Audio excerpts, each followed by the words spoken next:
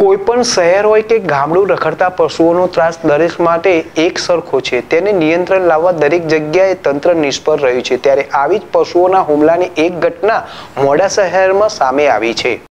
મોડાસા શહેરમાં આવેલ bypass road પર આજે સવારે એક દંપતી બુલેટ પર જઈ રહ્યું હતું. તેની પાછળ એક ગાય દોડે છે.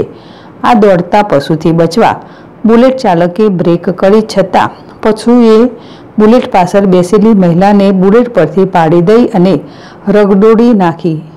મહિલાને બચાવવા તેના પતિ સહિત આસપાસના અનેક લોકો દોડી આવ્યા. પરંતુ પશુ આક્રમક બનીને મહિલાને ઈજા પહોંચાડતું રહ્યું. છેવટે બાજુમાં આવેલ પેટ્રોલ પંપના કર્મચારીએ લાકડીથી મહિલાને પશુની ચુંગલમાંથી છોડાવી. મહિલા ગંભીર રીતે ઈજાગ્રસ્ત થઈ છે. તેને સારવાર અર્થે ખસેડાઈ છે. મોડાસા શહેરમાં પશુ હુમલાની આ પહેલી ઘટના નથી.